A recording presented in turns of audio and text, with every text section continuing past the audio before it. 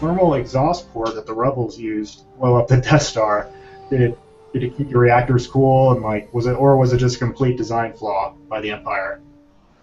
The technical term for the exhaust port on the Death Star is MacGuffin. Uh, that is a plot monster that was there to be shot at to make the last scene awesome.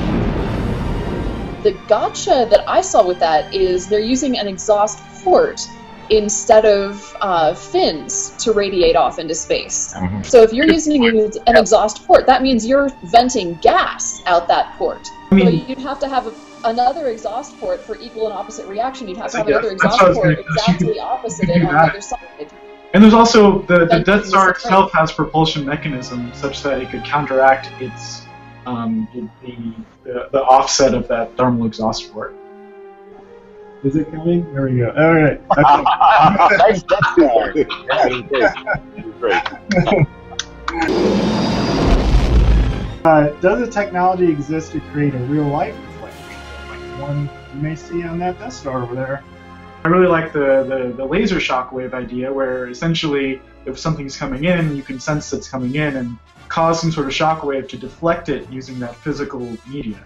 Similar, maybe to reactive armor that's used on some tanks now, where a projectile hits the armor and you uh, it blows up and basically cancels the uh, force, the opposing force. At least in the, the first three, the canonical real movies, I'm totally gonna get flamed for that. But in the real movies, all of the weapons seem to be based on charged particles. So if the Death Star's laser is actually, say, an electron beam, which would look different, but if that was the case, and if the rebels are always fighting back with charged proton torpedoes, then maybe a magnetic field is the right answer. Maybe that magnetic braking is what you need. Is the Death Star energy efficient? My guess is no. when they power up to destroy Alderaan, uh, that's a lot of energy, and you see things sort of, you know, powering down. The lights are dimming.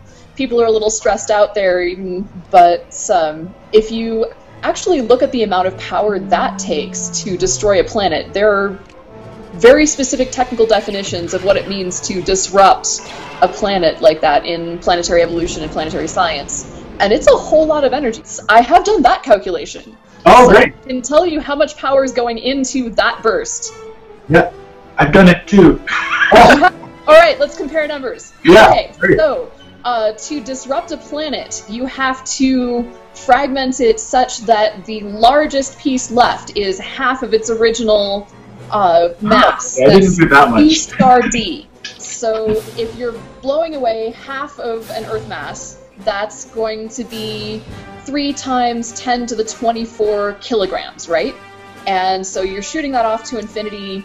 We're then talking about energy in joules. So one joule is the amount of energy it takes to lift something about the size of a big apple about a meter or three feet off the ground. And so one times 10 to the 24, that's the one with 24 zeros after it, joules, is one, and I couldn't have made this up, yotta joule.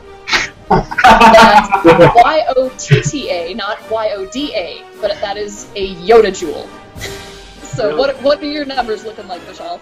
I'm uh, like six or so orders of magnitude higher than you. Very impressive, um, very a very efficient technology because if they had even one percent waste heat, uh, the Death Star itself would melt.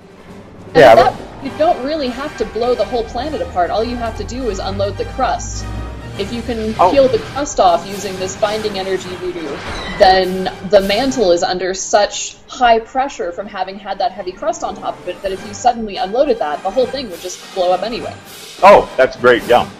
Well, Chris, you were speculating on ways to destroy a planet, weren't you?